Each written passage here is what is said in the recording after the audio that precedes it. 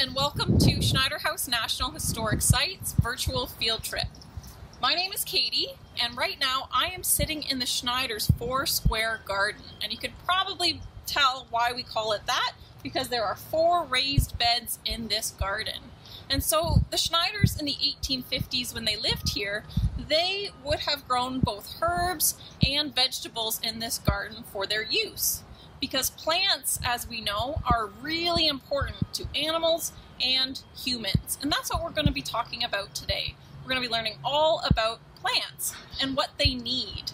Now, what does a plant need in order to turn from a tiny little seed like this into a beautiful plant like you see beside me? How does it go from a seed or a bulb into a plant? Well, I have a little acronym that helps me out to learn that.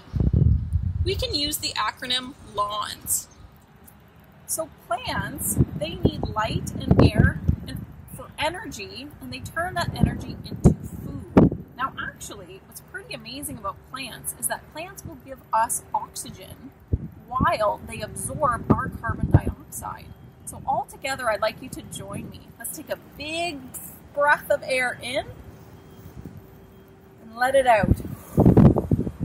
So we just breathed in all that wonderful oxygen that plants give us, and our carbon dioxide that we breathe out will help plants to turn that energy into food so they can grow really healthy.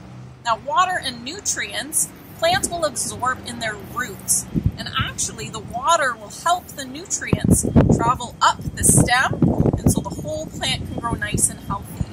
And as for space, well, you need to make sure your plants, you, you spread them out and give them lots of space so that they're not over top of each other and they can grow nice and healthy. And so today you're going to learn all about ways that we can help our plants grow and how the Schneiders would have used plants in their everyday life. So I hope you enjoy.